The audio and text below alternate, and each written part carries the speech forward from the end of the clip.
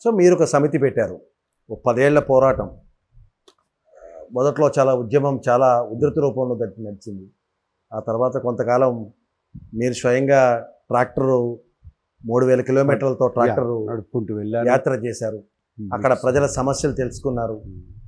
కానీ ఈ మధ్య ఎందుకో కొంచెం మీ వాయిస్లో కొంచెం తగ్గుదల కనిపించింది. ఎక్కడ వాయిస్ మళ్ళీ రాయలసీమ. హక్కులకు సంబంధించి కానీ అభివృద్ధికి కానీ.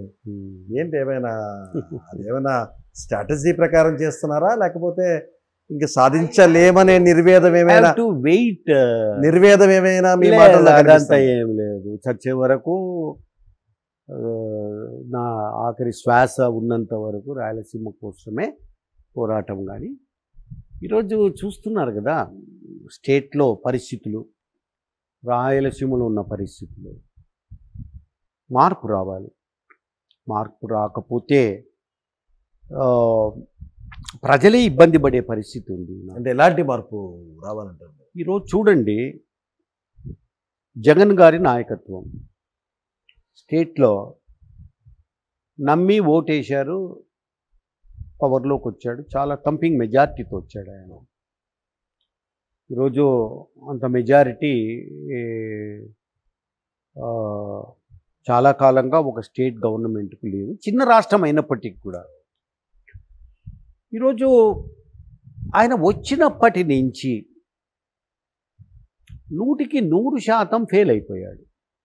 చాలా తక్కువ కాలంలోనే అట్టర్ ఫ్లాప్ అయిపోయాడు. కొన్ని సినిమాలు రిలీజ్ అయితే అవి కొన్నాళ్ళు ఆడతాయి కొన్ని కొన్ని సిల్వర్ జూబిలీ ఆడతాయి కొన్ని కొన్ని హండ్రెడ్ డేస్ ఆడతాయి. కొన్ని అంత వారంలోనే ఎత్తుకపోతుంది బాక్స్. ఈ వారంలోనే ఎత్తుకపోయింది ఈ బాక్స్ ఈ సినిమా. జగన్ సినిమా అనేది ఒక వారం కూడా నడచలేదు అని. అంటే సినిమా స్టాండర్డ్స్లో చెప్తా ఉన్నాను. ఎందుకు అంటే తప్పిదాలు. సరి అయిన సలహాదారులు లేకపోవడము కక్ష సాధింపు లేకపోతే ఎట్లా ఉంటుందంటే శ్రీనివాస్ గారు you see once you become chief minister of a state enemy also should be your friend that is the policy state ముందుకు పోవాలంటే. బాగా పరిగెత్తుకుంటూ దీన్ని పరిగెత్తించాలి. ఈ యొక్క స్టేట్ను ముందుకు తీసుకెళ్ళే డెవలప్మెంట్లో అని అంటే అంతకుముందు నీ ఎన్నికలలో ఉన్నటువంటి ఎవరైతే శత్రువులు లేకపోతే అపోనెంట్స్ ఉన్నారో వాళ్ళు కూడా నీ ఫ్రెండ్స్ కావాలి. పదే పదే పదే మీరు అన్ని పార్టీలను కలుపుకొని దాని మీద ఒక సమస్య మీద మీరు చర్చించుకోవాలి. వాళ్ళ సలహా కూడా తీసుకోవాలి.